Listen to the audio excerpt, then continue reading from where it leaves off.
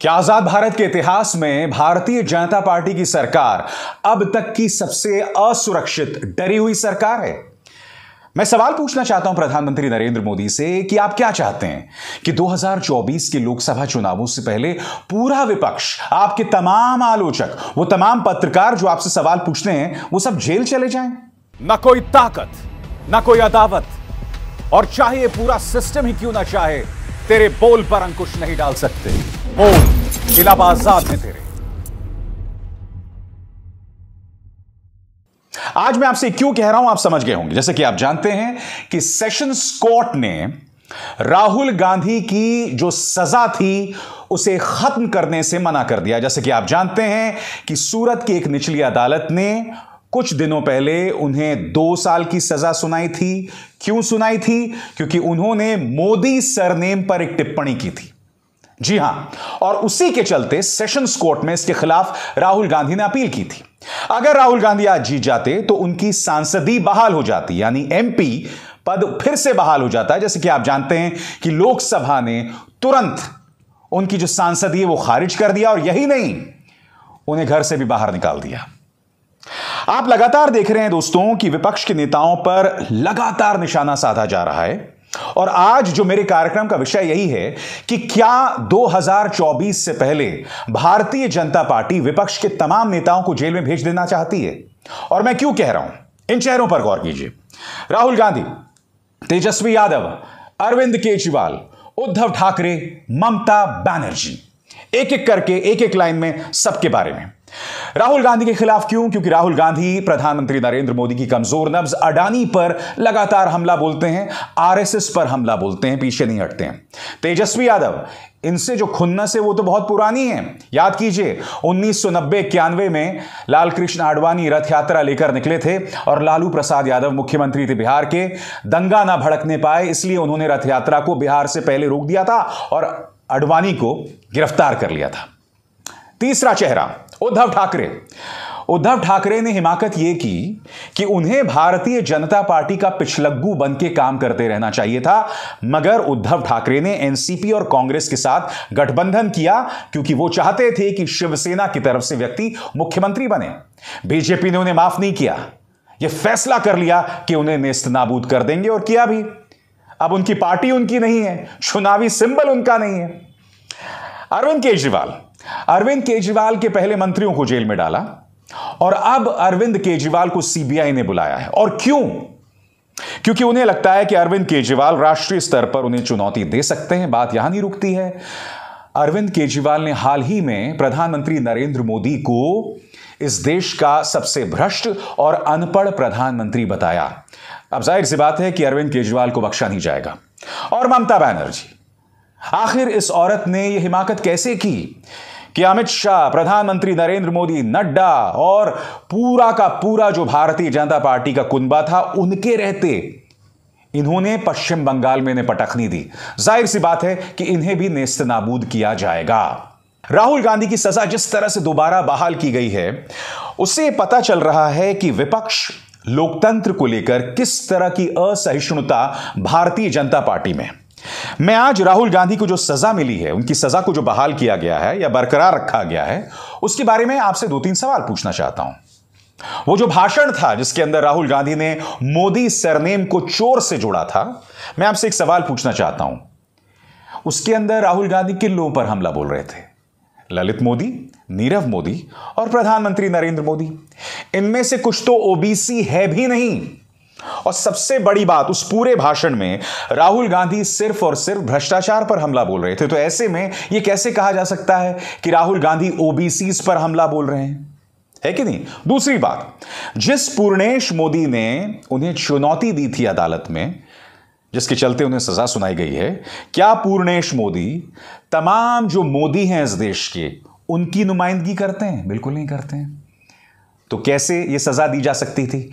और बड़ी बात, इन तीन में से कुछ तो ओबीसी भी नहीं है। तो फिर ये ओबीसी का अपमान किस तरह से बताया जा सकता है? तो एक तरह से कहा जा सकता है कि राहुल गांधी को जो सजा मिली और उसे बरकरार रखा गया, उसको लेकर लगातार सवाल किए जा रहे हैं और इन सवालों के जवाब किसी के पास नहीं है। मगर एक बात समझ आ गई है कि 2024 से पहले एक एक करके तमाम लोगों को जेल में डाला जाएगा। मुझे ऐसा लगता है कि अगला नंबर अरविंद केजरीवाल का है, क्योंकि सीबीआई उनसे पूछताछ कर चुकी है। इसलिए दिल्ली की सियासत में एक ज़बरदस्त भूचाल आने वाला है और उसका असर पंजाब में भी पड़ेगा, क्योंकि पंजाब में भी आम आदमी पार्टी की सरकार है। मगर दूसरी तरफ़ क्या हो रहा है दोस्तों? दूसरी तरफ़ भारतीय जनता पार्टी की रुदाली जारी है।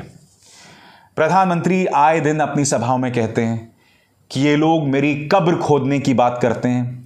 ये लोग मुझे एक एक दो दो किलो गालियाँ देते हैं और उसी के चलते मुझे ऊर्जा मिलती है। यानी कि विक्टिम कार्ड खेलना है, किसी को सीखना है तो बीजेपी की तरह सीखे, बीजेपी की तरह खेले। अपनी तरफ़ से आप लगातार विक्टिम कार्ड खेलते हैं और विपक्ष पर लगातार निशाना साधते हैं। और मैं सिर्फ़ राजनीतिक विपक्ष की बात नहीं कर रहा हूँ। मैं आलोचकों की भी बात कर रहा हूँ, मैं एक्टिविस्ट की बात कर रहा हूँ, और सबसे अजीब गरीब बात यह है कि अनर्गल तरीकों से लोगों को फंसाया जाता है। मसलन, रोना विल्सन एक्टिविस्ट रोना विल्सन, आप जानते हैं, उनके बारे में बाकायदा खबर आई थी इंटरनेशनली कि किस तरह से उनके लैपटॉप पर सबूत प्लांट किए गए उन्हें फंसाने के लिए। तो इस तरह का खेल होता है। एक्टिविस्ट तीन तीन सालों से जेल में पड़े हुए हैं। एक की मौत भी हो गई। और यही नहीं, अदालत ने बाकायदा कुछ लोगों को रिहा भी किया क्योंकि प्रमाण ही नहीं थे, कोई सबूत ही नहीं थे। बेवजह आतंकवाद की धाराओं में उन्हें बंद कर दिया गया था, मगर बीजेपी की रुदाली कभी खत्म नहीं होती, उनका विक्टिम कार्ड कभी खत्म नहीं होता, मगर अपनी निगाह से, अपने हरकतों से, अपनी कार्रवाइयों से ये विपक्ष का खात्मा चाहते हैं, आलोचकों का खात्मा चाहते हैं, जो अपने आप में कितने दुख की बात है। अब मैं आपसे एक सवाल पूछना चाहता हूँ। हाल ही में कर्नाटक की एक रैली में भाजपा के अध्यक्ष जेपी नड्डा ने, आप जानते हैं क्या कहा था?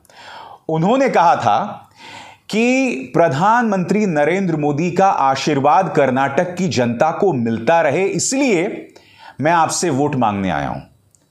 सरल शब्दों में कहा जाए कि अगर कर्नाटक ने भारतीय जनता पार्टी को वोट नहीं दिया जो केंद्र सरकार की तरफ़ से जो मदद मिल रही है, वो मदद नहीं मिलने वाली है। जेपी नड्डा कोई राह चलते छुट भैया नेता नहीं है। जेपी नड्डा एक पार्टी के अध्यक्ष हैं। मैं आपसे पूछना चाहता हूँ, जेपी नड्डा ने जो बात अपनी रैली में कही, इससे मैं धमकी ना मानूं तो क्या मानूं, बताइए। क्या एक पार्टी के अध्यक्ष को यह बात कहना शोभा देता है? जहाँ वो खुलेआम एक मन से ये कह रहे हैं कि भाई अगर आप चाहते हैं कि प्रधानमंत्री का आशीर्वाद मिले तो वोट दीजिए। सबसे पहली बात, प्रधानमंत्री का आशीर्वाद क्या होता है? प्रधानमंत्री तो प्रधान सेवक है ना? उनके आशीर्वाद का क्या मतलब होता है? क्या प्रधानमंत्री पूरे जो कर्नाटक हैं, उनमें सबसे वरिष्ठ हैं क्या? उम्र के लिहाज से, रुतबे के लिहाज से? चलिए रुतबा मान लिया, क्योंकि देश के प्रधानमंत्री हैं। उम्र के लिहाज से तो कई ऐसे कर्नाटक के वोटर्स होंगे जो प्रधानमंत्री से बड़े होंगे। अस्सी नब्बे साल के होंगे। तो क्या प्रधानमंत्री उनको भी आशीर्वाद देंगे? कहने का क्या अर्थ है दोस्तों? मैं क्यों आपको जेपी नड्डा की बात सुना रहा हूँ? और आखिर क्यों इसे अपने कार्यक्रम के शीर्षक से जोड़ के देख रहा हूँ? क्योंकि जेपी नड्डा ने जो बात कही ना किसी भी सूरत में लोकतांत्रिक नहीं है। उसके ज़रिए सिर्फ़ और सिर्फ़ लोकतांत्रिक मूल्यों को कुचलना है और इसके अलावा कुछ नहीं। याद कीजिए, बिहार गए थे जेपी नड्डा, उन्होंने क्या कहा था? कि हम चाहते हैं कि क्षेत्रीय दल धीरे धीरे खत्म हो जाएँ ताकि हर जगह बीजेपी का परचम हो। क्षेत्रीय दलों को खत्म करने की बात जेपी नड्डा कर रहे थे बिहार के अंदर। क्यों? और सबसे बड़ी बात यह क्या देश के संघीय ढांचे फेडरल स्ट्रक्चर के लिए ठीक है? मैं आपसे पूछना चाहता हूँ दोस्तों, इस देश में कई क्षेत्रीय दल हैं। तृणमूल कांग्रेस है, बीजू जनता दल है, शिवसेना है, डीएमके, ए आई डीएमके है, अकाली दल है। हर एक की अपनी ज़रूरत है। हर एक के अपने मायने हर एक की अपनी अहमियत है। हर पॉलिटिकल पार्टी का अपना रंग है और आप जानते हैं, इनमें से कई पॉलिटिकल पार्टीज़ जो क्षेत्रीय लोग हैं या उस राज्य के लोग हैं, उनकी उम्मीदों की नुमाइंदगी करते हैं। मैं आपसे पूछना चाहता हूँ, ऐसे में क्या उन क्षेत्रीय दलों को खत्म कर देना चाहिए? जेपी नड्डा साहब ऐसा कह क्यों रहे हैं? क्या यह सोच लोकतांत्रिक कही जा सकती है? दिक्कत यह है दोस्तों, यही इनकी सियासत है। हकीकत यह है कि 2014 से जब से ये लोग सत्ता में आए हैं, तब से लेकर अब तलक, इन लोगों ने देश की सीरत सूरत सबको बदल दिया है। आज मैं एक बहुत बड़ी बात कहने वाला हूँ। अगर 2024 में किसी चमत्कार से भारतीय जनता पार्टी सत्ता से चली भी जाएगी ना तब भी जो नुकसान भारतीय जनता पार्टी की सियासत ने इस देश को किया है ना, उससे उबरने में हमें सालों लग जाएँगे।